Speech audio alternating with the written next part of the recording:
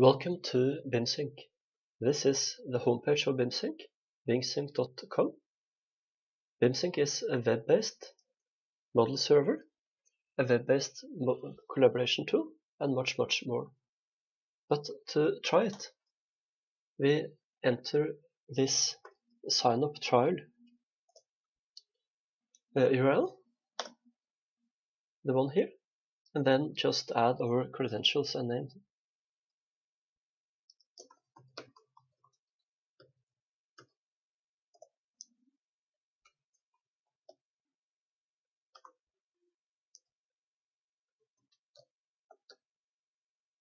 I'm from Catenda, which is the company who creates BIMSync.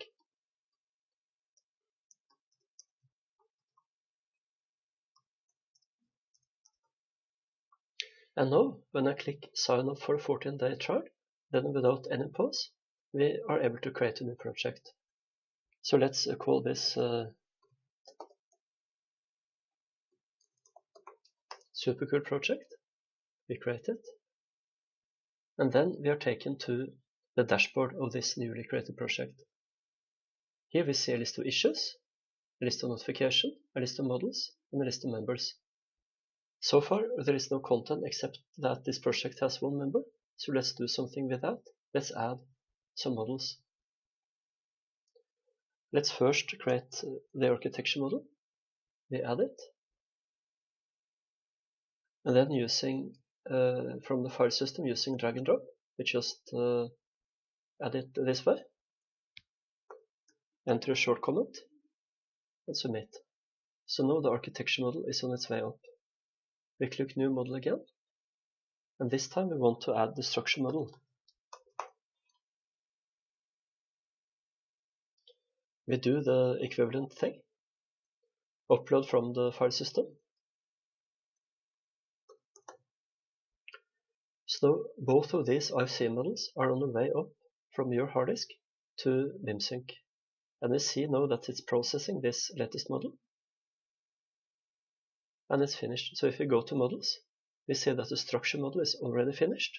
And here, the architecture model is also finished. Now we can click 3D and see it here in a web browser using 3D uh, graphics provided by WebGL. You can hide some of the controls.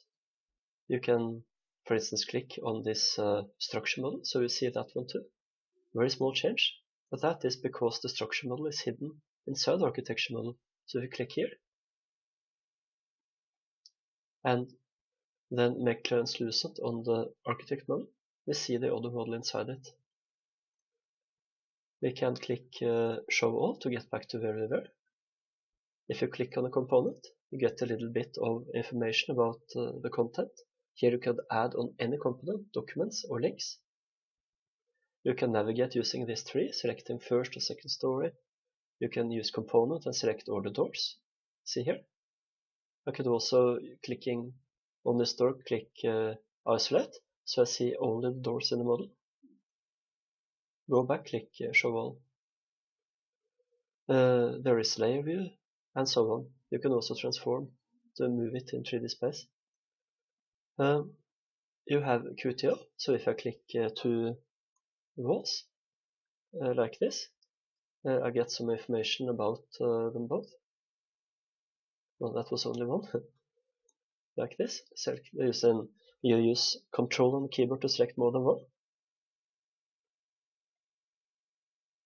So you see combined uh, properties on the widths. Let's go back to the dashboard. This is the page we are on, dashboard we've been to models. Issues is a very po powerful BCF-based uh, issue control system. And notice that in addition to full support for BCF, BIMSync also works as a BCF server. So using a plugin in Revit, you can uh, collaborate using that. Milestones uh, can be connected uh, with issues. We have libraries, both the pre-provided one and the can one, ones, members and notifications. But also notice that we have this super powerful developer API so that it's very simple to create enterprise applications